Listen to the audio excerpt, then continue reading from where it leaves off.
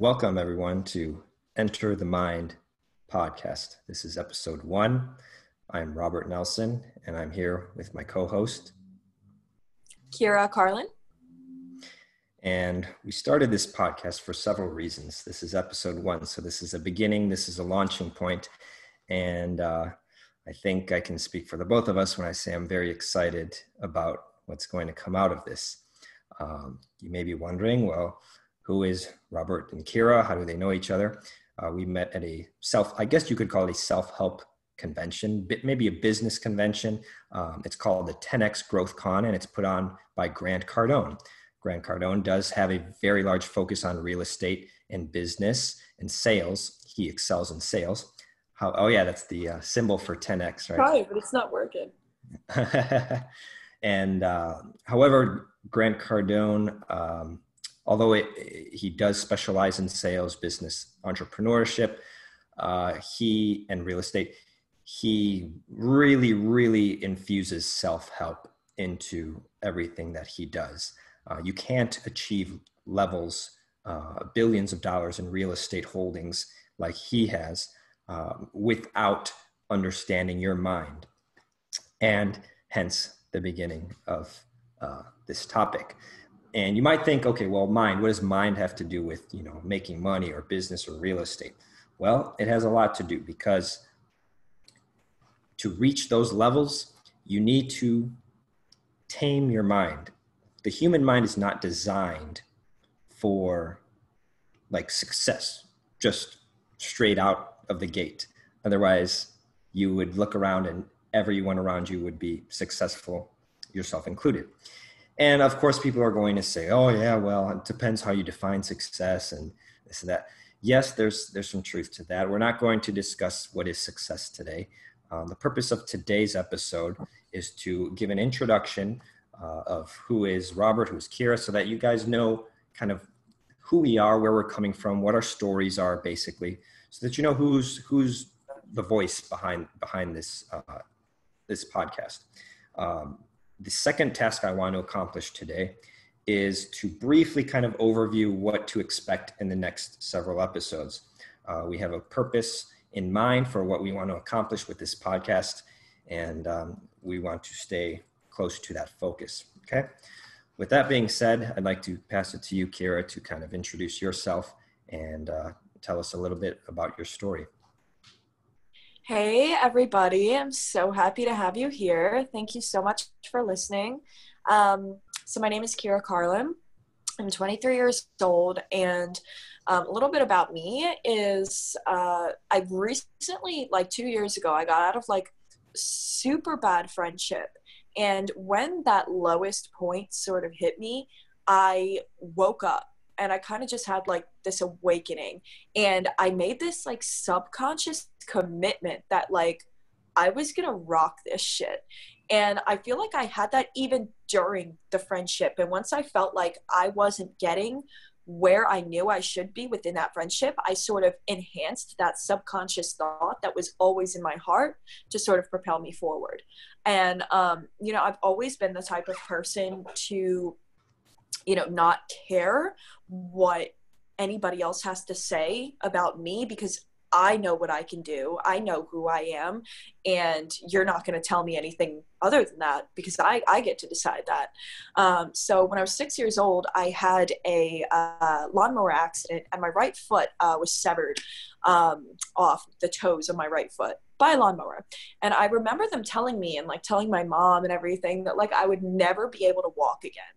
And I was just kind of like, mm, uh, no, that's no. So I actually uh, wound up walking again on my own without ever going through any physical therapy. I just got sick and tired of not being able to walk um, and I just started walking again. Um, and I, you know, I, I run a track, I do gymnastics. Um, I still run to this day. I can do anything. I don't have the most amazing balance, but point is, I did it when they said that I couldn't. Um, not only that, but after I got out of the bad friendship, um, I did go see a psychologist because um, I thought maybe they'd be able to help me. Um like i'm like all right well i've gone through this. I'm not going to be arrogant and think that i can do it on my own. I am going to go and seek help. And these people like i just like felt like they didn't genuinely care about me and that i was just like another number in their office who they kind of had these programmed answers to and these programmed solutions and it didn't matter who I was. They don't give a fuck about who I was. They just cared about giving me that programmed solution. So it's like it had nothing to do with me, but it had everything to do with their programmed solution. So it's like whatever solutions they had were not, you know, given to somebody because they thought this specific solution would be right for that person. They give it to this person because it's the only solution they have. So um, point is, she tried to give me these pills. Um, and I had just gotten home. I was really mentally damaged. I had absolutely no confidence, no confidence at all. And she wanted to give me this pill um, to where I had to stay inside all summer. Like I wasn't allowed in the sun and I wasn't allowed to drink. So, like, if I wanted to meet up with some of my old friends who were there before everything happened and go get a drink and catch up, I wasn't allowed. If I wanted to go catch some natural serotonin and be in my happy place at the beach, I wasn't allowed. And I asked her if she had anything different. She said no, and she was pretty rude. And she was like, um, you know, no, if you really want to heal, if you're really taking this seriously, we are going to give you these pills and you're going to have to take them. And I looked that woman dead in her eye sockets of her soul and I walked out of her office. um, I walked out of her office that day and that subconscious drive to fucking win got bigger and it grew deeper. And it's grown so much since that day. Um, and even since the the first time that I opened The Secret, um, which is by Rhonda Byrne. And um, ever since I opened the book that day, my life changed. It was like it's like a warping, and like it changed. And um, so pretty much ever since that day, I have dedicated every ounce of my being, every molecule, every atom, every thought to my future and to what I want to be as a as a human. So to who I want to be to influence others is what I build myself around because you can't influence anybody if you are not an example. So I build myself every single day with, you know, tearing apart my human mind, um, admitting when I'm wrong, you know, AKA humility, um, you know, being grateful, trying new techniques, not techniques, but rather trying new things that sort of have a little light bulb in my mind. I'll try them out. If they don't work, great. That's just something that I write down and that I can teach somebody else. And I'm doing all of this work right now. So that way, my clients and other people in this world can see me, see me as an example, and know that I. I have done it before you. I've done it first. So hopefully this can work for you. And um, that's pretty much it's pretty much my story. Um, i'm pretty foul mouthed uh, i curse a lot. I'm, I'm a big swearer. Um, and I, I love to write and i love to run. I love exercising. I love cooking. I'm super vegan. Um, so that's just kind of like a little bit like on the on the less like formal. I don't know if that's the right word but side of me. Um, so thanks for listening. And that's a little bit about me. Um, Robert, did what do you what do you have to say about that? Perfect. Perfect. Yeah. Uh, super quick before I respond, I'm going to switch the video to side by side view. Uh, oh, cool. Okay, cool. I forgot to do that, so we'll see how the YouTube ends up. Uh, but the audio is great, so. Uh, great. All right, so let's go from there the um, yeah i like what you mentioned and uh, what i gathered from that is kind of a confirmation of how i understand your personality uh, just from uh, knowing you the brief uh, number of months that uh, we've known each other is that you've got sort of like a tenacity for living. And uh, i think that's really cool. That's something that i dig and something that i seek to exhibit myself right like to me living is like living and the mind kind of go hand in hand. And living to me is almost sacred, right? It's, it's people make these other things sacred when really what should be sacred is living itself and how well someone lives, right? So what is what would that even look like in my life? Well, when I was uh, I grew up in the suburbs of Chicago, and uh, I excelled in, in math. I was like this whatever. I was like a math skateboarder, right? So I was like I, I wouldn't call myself a nerd because I wasn't really a nerd. Like I was super good at school, but but I was like I don't know. I would I would hang out with the cool kids as much as I would hang out with the the, the nerds in the AP classes, right? So I I liked both crowds. You know, they have they have different strengths, right? And that's reality. I like to say reality is diversity. So, uh, any case, I uh, went off to college majoring in math, got an internship at a Fortune 500 company uh, doing computer programming for yeah for a Fortune 500 company, and I was earning great money. It was just one year into college. So, I mean, it's very rare to get an internship your freshman year. And, uh, but the timing was, uh, it turned out to be good because what I learned from that is um, it was my first introduction to uh, really being an adult. I was now in, uh, you know, a, a, big boy job, so to speak. You know, I was not uh, scooping ice cream anymore. I was like, I was literally doing 40 hours a week at a desk in a cubicle, like with a bunch of other grown adults who had little kids at home. They were supporting families. But something stuck out to me. And what stuck out to me was that all of the adults around me, they just, a lot of them didn't enjoy what they did. They, they dreaded Mondays. They looked forward to the weekend. All I heard when I was trying to get my work done in my cubicle was, oh, I can't wait till Friday, can't wait till Friday. And then Thursday comes and Friday's tomorrow, tomorrow's Friday, tomorrow's payday. Then Friday comes like, all right, today's Friday, happy Friday, happy Friday. I'm like, I'm like, wait, do you guys like you don't choose to work here? Like, is is, is there something I'm missing about this? Like, are you like, you know, I thought when you're a kid, yeah, you have to do what your parents tell you, and then when you're an adult, you kind of do what you want. But that was not what I saw. Uh, that caused me, that event caused me to completely abandon psycho, uh, not psychology, computer science as a major, and I ended up studying psychology. I did get a bachelor's degree in psychology, but it doesn't mean much because one year of working in the field will teach you more than four years of sitting in a classroom. Now, what I learned then from my, I'm 33 now, by the way, so uh, so I, have been working for like over eight years in the field of psychology, and in different contexts, I've worked with you know high school students on, uh, on thinking about their careers. I've worked uh, in some more intensive direct service roles in mental health. And I always loved to work at the most intense levels, right? Because it's the most challenging and it requires the most skills. And so, what does that look like? Intensive levels of psychology.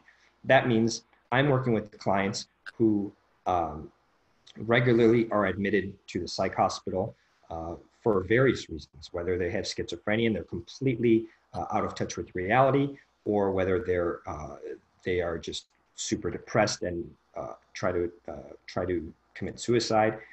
Very like a very very um, serious uh, illnesses right? I've, I've walked into psych wards three through three sets of locked doors into a psych ward and one of my clients yelled my name came up to me and gave me a fist bump right and that was not the only client who recognized me in that psych ward right i've driven homeless people my clients, obviously, I knew them, driven homeless people to the community center to take a shower. But I had to persuade them to store their knife in the trunk of my car so that it was a safe trip, right? Like this is this is me in the real, like down to earth, getting the work done, right? That's what that's how you learn real psychology, real mind stuff, not uh, sitting off in a book reading peer-reviewed studies and blah.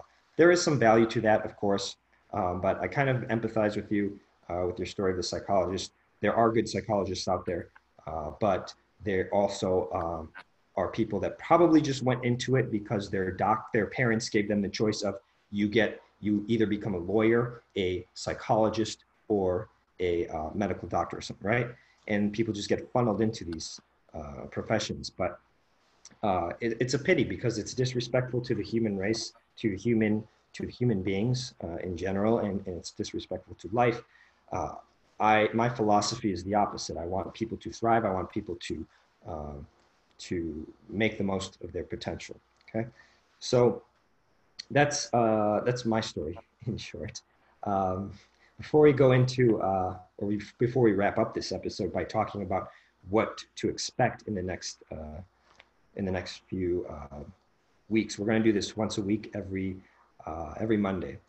Um, so stay tuned. If you're watching on YouTube, expect an upload every Monday. If you're listening to this on um, on a podcast platform, then expect that upload to also be made on Mondays. Um, before I, we go into what to expect, Kyra, did you have any other things to add?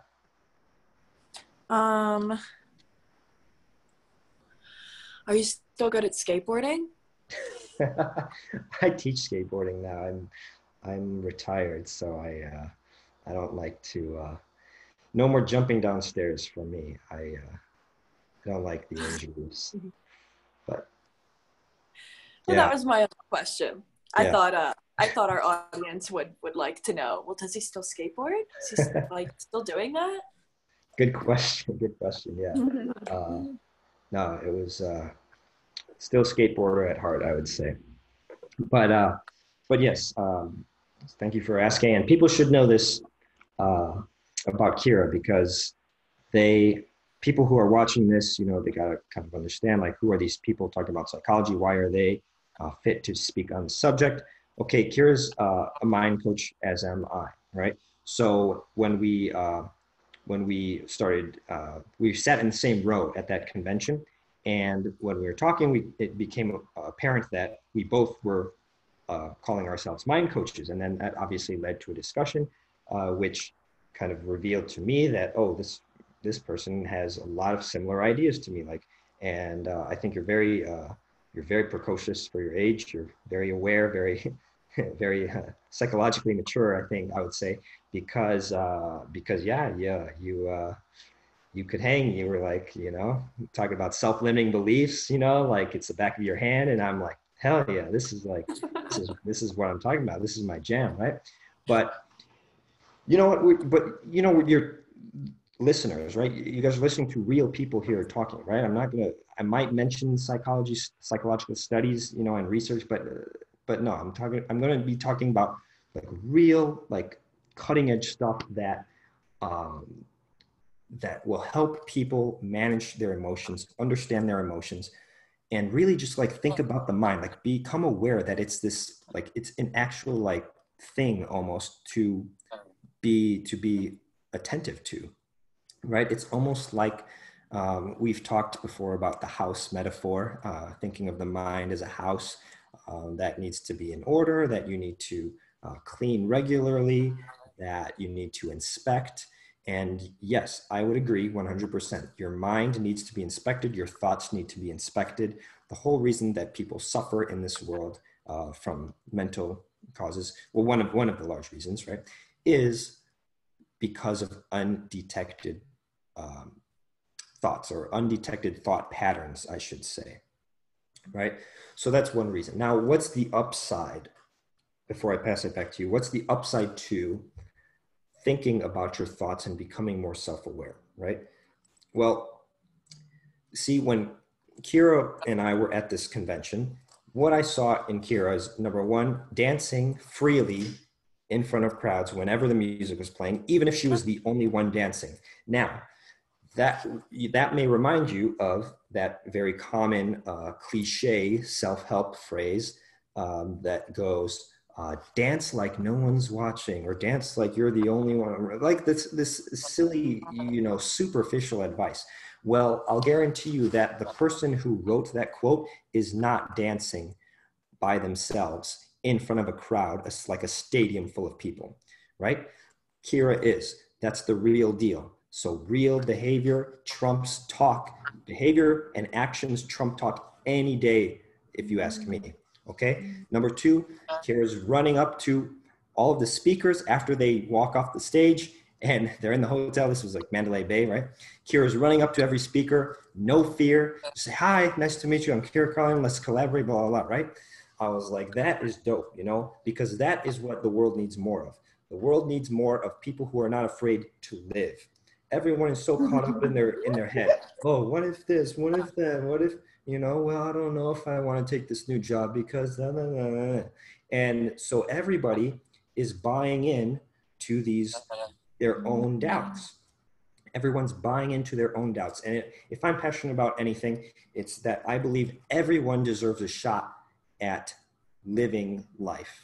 Everyone deserves a shot at being able to walk up to a stranger and say hello. Everyone deserves a shot at understanding their minds and being able to identify negative thoughts and throw them out the window so that they can live, live freely. Everyone deserves a shot at overcoming past negative experiences and just totally dropping them, moving on, and just creating the rest of their life. So that's kind of how I feel about this. But let's pass it back to you to uh, conclude this this day's episode. Well, I mean, wow. I feel like you chopped so much good stuff into that like small speaking time. I loved it. And I do think that everyone deserves a shot. And I feel like if we're talking about the importance of the human mind right now, um, to sort of give people a little taste of how the rest of the podcast episodes are going to go, I mean, yeah, it's definitely going to be about the human mind and the importance of, you know, getting inside your own mind is extremely important because once you know yourself and accept yourself, you sort of give yourself a subconscious permission to go ahead and um, see the thoughts that are going on in your mind as as opposed to being extremely judgmental about yourself um, being in, in fear of other people judging you which i'm wondering if that has to do with you judging yourself inside. Like if you're judging yourself inside is that where the fear sort of roots from? If you're being scared of people judging you like the fear of judgment? Anyways maybe maybe that'll be an episode maybe it won't um, but um, you know if if you're judging yourself as opposed to judging yourself and sort of not allowing yourself to fully express who you are because you've rejected so much of you. And when you re- reject so much of you it like you're you're you're not fully you. And you are awesome. Like you have like you whoever you is listening to this you know you have so many cool freaking things about you. Like i meet people and i'm like wow. Like this person is amazing. Like they blow my freaking mind. I'm in awe of how awesome these people are that i meet. And i i think it's it's really important to accept those things that you think so that way you can understand the thoughts that are going in your mind so it's like say I met Robert, for example, and when I met him, I'm like, wow, I think this guy is really, really cool, and I think it'd be so much fun to work with him. Oh my God, maybe we can be friends. Uh, maybe we'll even do a podcast. I wonder if we'll ever go out for tacos.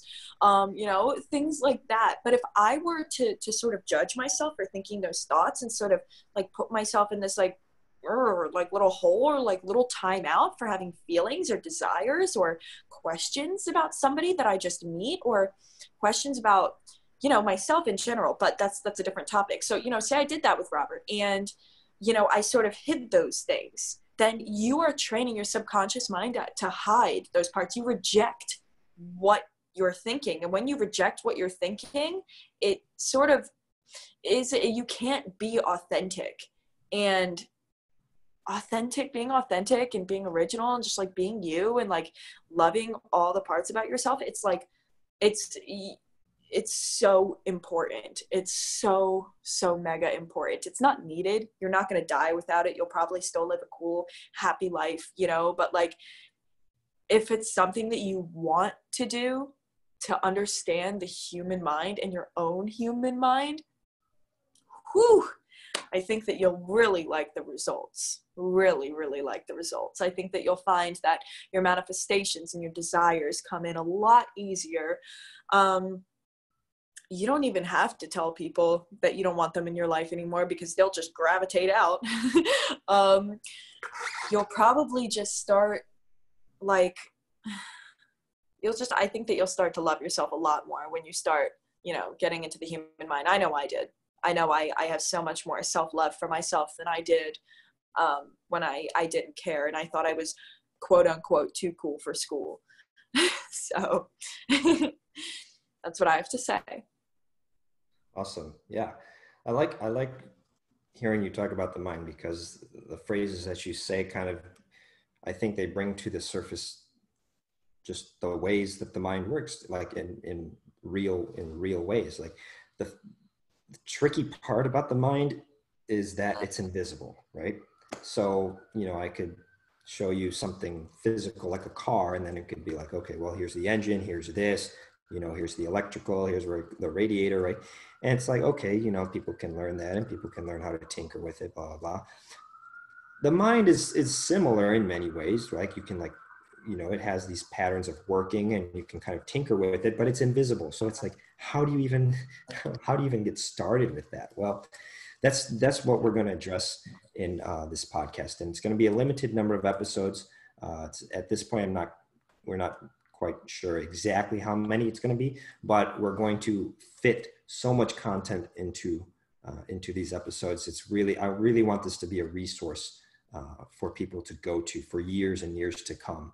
That uh, anytime they need that that little you know boost um, in whether it's motivation, you know their own psychology, self empowerment, self esteem.